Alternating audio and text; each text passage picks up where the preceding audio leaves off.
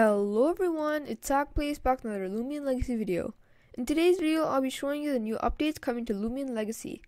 All these updates were confirmed by Lando64000, the head dev of Loomian Legacy, in a Discord voice chat.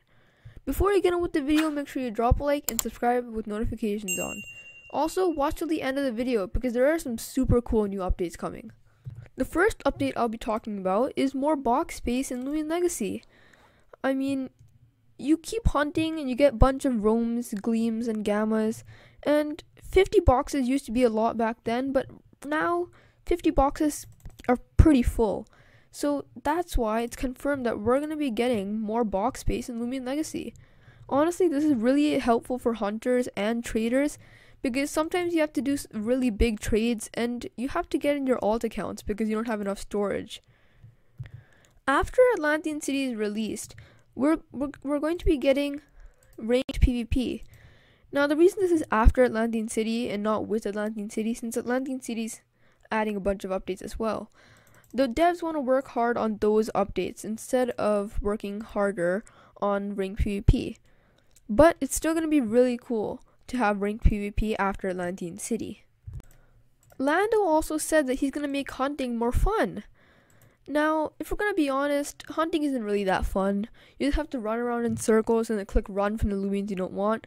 It gets kind of tiring when it's the same repetitive thing over and over and over again. That's why Lando said that he's gonna add more stuff to make it more fun. And one of those things could be more weather. So it's confirmed that there's gonna be more weather, but I'm pretty sure most of us knew that was coming. It could be snow weather, it could be other types of weather, but I'm really excited to see new weathers and what effects they'll have. Now, I'm pretty sure we've all been there, if especially if you're a trader. Now, you're trying to trade for some Loomians, and you have to trade items for it. And it just takes forever putting an item on a single Loomian or catching a Loomian, putting it on there, and then trading it. And you can only trade four at a time. And item trading is really hard. But the thing is, Lando said that we're going to be able to trade items. So you could like in, go inside a trade and click on your bag and you can just drag and drop your items into the trade. Honestly, I think this is really helpful and I can't wait till this comes out. It'll make trading much, much easier. We might be getting two battle theaters in a year after a year. Basically, what that means is so not 2022 but 2023, we might be getting two battle theaters in that year. Now, this is actually pretty cool since we know 2021 has been a tiny bit disappointing since there was no battle theater at all. Although we did sort of get made up for it with all the events we've had. Since Snaggle has a sandwich in its mouth, um, we were wondering, does Snaggle always have a sandwich in its mouth? What will it be like in game? So, Lando said that it will have in its mouth in adventure mode, um, but with a small twist. So, we're not sure what the twist is, but what I think is that Snaggle would be like Cramorant.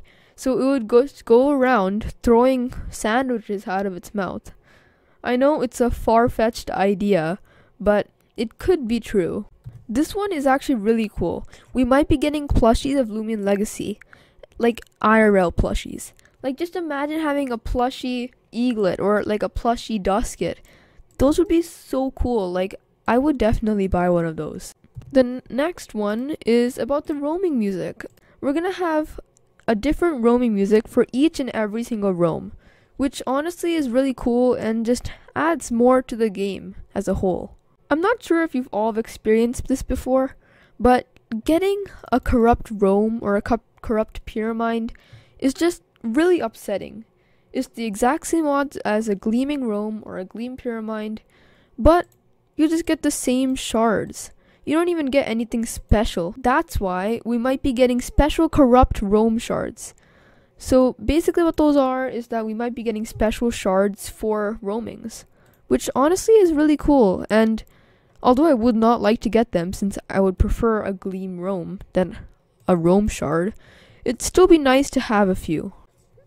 The next update I'll be talking about is something that I've actually really loved doing and that is Nuzlocke and Randomizer game modes. So personally, I love doing Nuzlockes and Randomizer Nuzlocks. Knowing that we can do randomizers in Loomian Legacy is just really cool. Like I could walk into the grass right here and find a gleaming Falkyrie, which normally you can't. So those are all the updates we've had. As always, if you enjoyed my video, make sure to like and subscribe with notifications on. That way you won't miss out on any future videos. Goodbye, and keep being awesome.